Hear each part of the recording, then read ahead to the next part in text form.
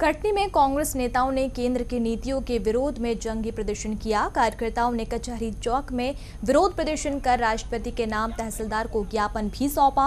Congress party ने जंगी प्रदर्शन के बारे में शहर जिलाध्यक्ष मिथिलेश जैन ने बताया कि केंद्र सरकार की नीतियों के कारण आमजन बेहद परेशान है। बैंकिंग नीति के कारण बैंक में जमा रुपया भी निकालने के दौरान परेशानी होती है। आर्थिक संकट के कारण मूलभूत वस्तुएँ आम लोगों की पहुँच से दूर हो रही है।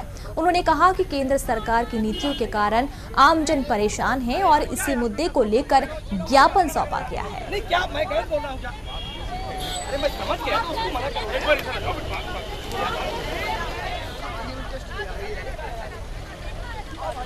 तो आपको बता दें कि फ़ोटो खिंचवाने को लेकर यहाँ कांग्रेस जो, थे वो आपस में भिड़ गए। केंद्र सरकार के खिलाफ यहाँ पर प्रदर्शन किया जा रहा था लेकिन नज़ारा कुछ और ही नज़र आया क्योंकि फ़ोटो खिंचवाने को लेकर यहाँ पर कांग्रेस कार्यकर्ता ही आपस में भिड़ गए। कटनी से ये खबर तस्वीरें भी आप टीवी स्क्रीन पर साफ़ देख सकते हैं कि ज्ञापन सौंपने जा रहे थे और इसी बीच कांग्रेस के जो कार्यकर्ता थे उन्हीं के बीच बहस हो गई झुमा झटके हुई फ़ोटो खिंचवाने को लेकर।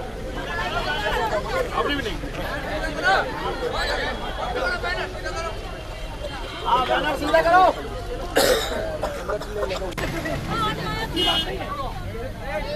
अरे यार क्या यार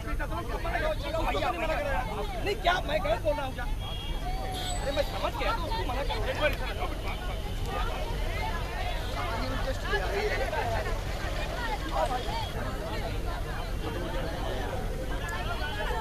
अभी भी नहीं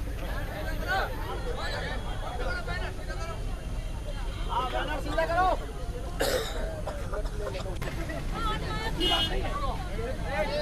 अरे यार क्या यार?